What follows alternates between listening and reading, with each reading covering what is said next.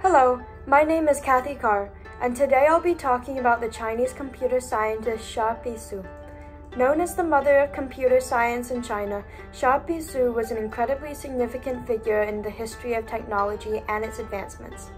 Xia was born in 1923 on July 28 and died in 2014 on August 27th.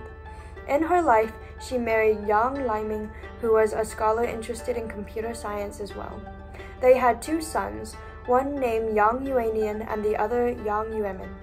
Both children followed in their parents' footsteps in science, as Yang Yuanian became a computer scientist while Yang Yuemin became a physicist. Xia immediately found herself loving education, having started her schooling at the age of four. She came from an educated family who had the wealth required to hire a private tutor. She was able to have her first private tutor at the age of eight, furthering her knowledge. She continued through her education and graduated at the top of her high school class in 1940. She proceeded in her education at the National Central University. She joined in 1941 and studied electrical engineering.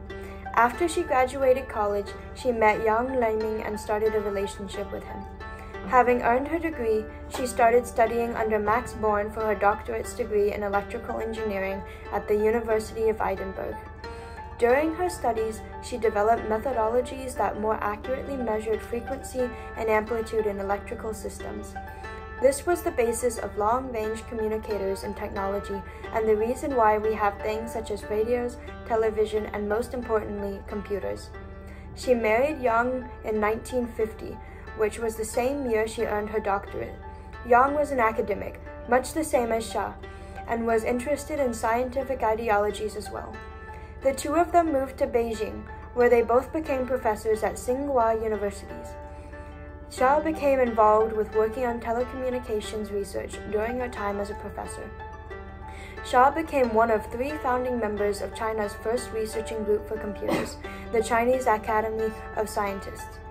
She was then selected as the best candidate to learn and teach the best way to make a computer from the combined fields of mathematics, engineering, and physics.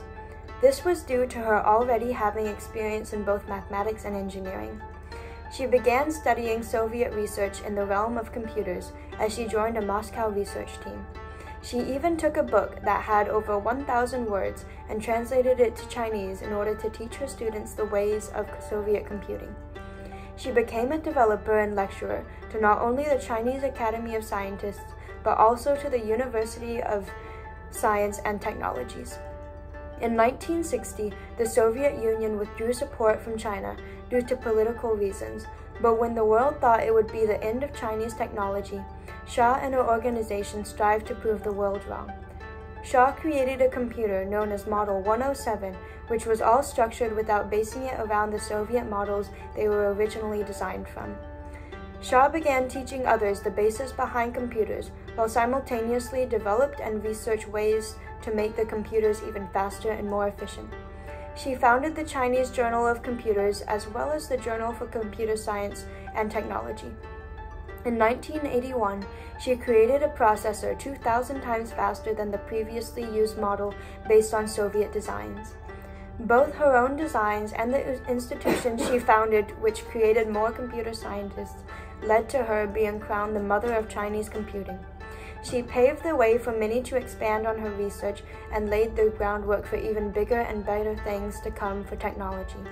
She was honored with a reward in her name handed out by the China Computer Federation, which awards the Xia Peisu Award to women who have made outstanding contributions to the advancements of computers. Not only that, but Xia and Yang were both elected to be academicians of Ch the Chinese Academy of Sciences, as the two of them made incredible contributions as professors and researchers. Today, China is one of the world's biggest leaders in computer productions. China even surpassed the United States and became the leading market for PCs around the world. Xia Peisu was one of the leading factors which allowed for this to happen. She and her husband taught many students who continued to teach and develop computers. Through her life, she was one of the first to teach classes on computer theory, as well as developed many courses to contribute to the field of computer science. All of this can secure her spot in history as one of the world's most important and influential computer scientists.